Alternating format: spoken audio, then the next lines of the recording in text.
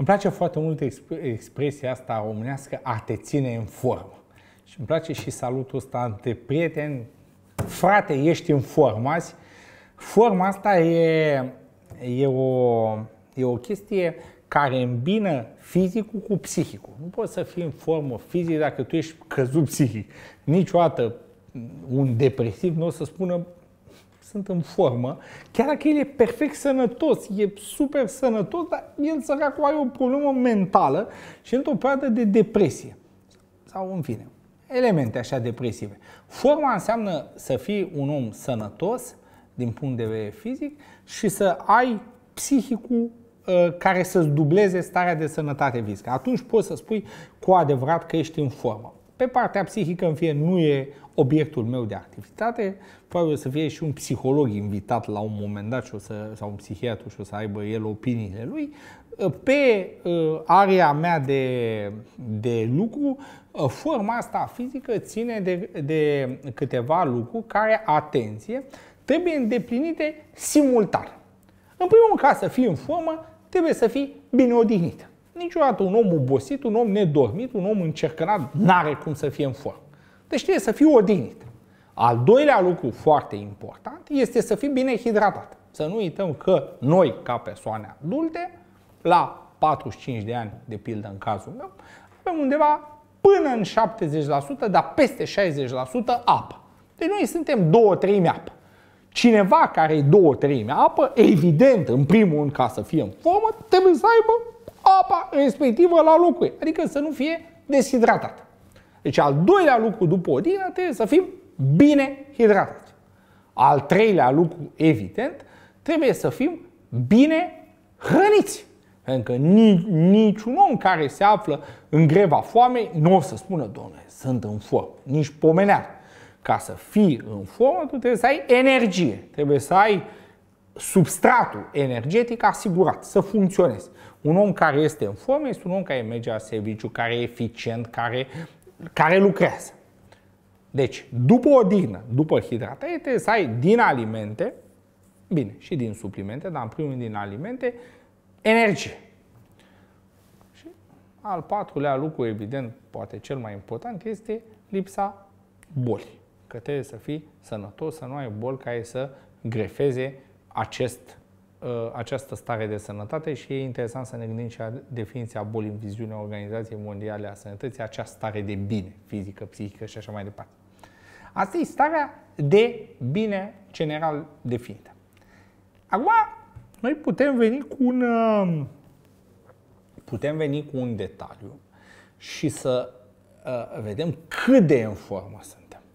Că eu pot să fiu odihnit, hidratat, mâncat, eficient, sănătos, dar să gâfâi alergând după autobuz un sfert de stație. Eu mă simt super în formă, dar autobuzul ăla la 100 de metri mi se pare că n-am cum să-l prind, deși aș avea timp la dispoziție.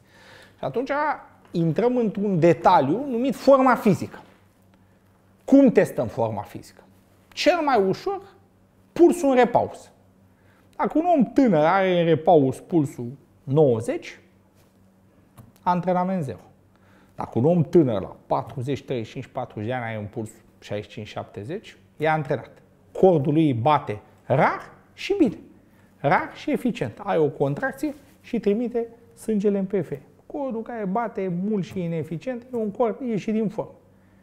Ce înseamnă să fii în formă din punct de vedere apatului locomotor? Mergi 8, 9, 10 km, nu faci febră musculară, nu ai dureri, nu se umflă nimic. În momentul când după 3 km vrei pauză, nefiind obosit, ce înseamnă în formă respirator? Asta e legat mult cu cardiovascular. Da? Ai capacitate pulmonară bine, să poți să rezisti la efort. Deci, pe de o parte, e forma asta de zi cu zi, forma care o simțim noi, dar e și o altă formă fizică care poate fi evaluată prin niște parametri obiectivi.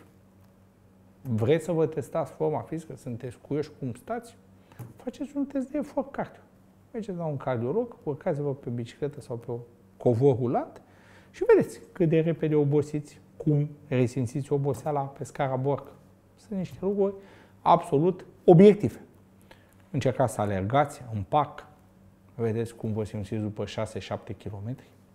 Astea sunt chestii care țin de o formă fizică trecând de forma respectivă, pe care noi o declarăm și ne bucurăm când o declarăm dimineața, mă simt în formă. Da? Privim ceasul, e dimineața, mă simt în formă. Partea a doua a întrebării viza momentul optim pentru exerciții fizice în funcție de vârstă. Momentul nu depinde atât de mult de vârstă, poate la copii, unde sunt acele ore de somn să fie un pic decalate, dar de la adolescenți în sus, două momente foarte bune pentru a face exerciții fizice. Unul undeva începând de la 10 dimineața până în masa de prânz și un altul după amiază, undeva de la ora 16, 16.30 spre 18, 18.30. Noi trebuie să ne gândim că ne apucăm de activitate fizică după amiază, să avem o chestie în minte. Facem o oră pauză, 45 minute, între finalul activității fizice și masa de seară.